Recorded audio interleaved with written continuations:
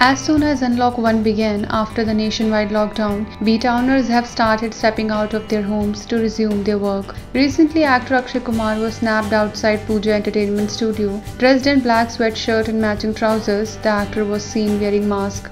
On the work front, Akshay will soon be seen in Sooryavanshi, directed by Rohit Shetty. The film is the fourth installment of the Shetty's Cop universe after two Singham films and Simmba. The film was scheduled to release on March 24, however, it got postponed due to COVID-19 pandemic. IANS report.